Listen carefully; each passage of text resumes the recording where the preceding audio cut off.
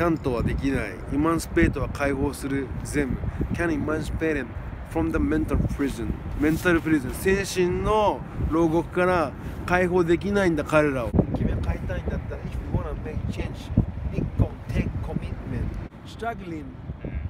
は struggle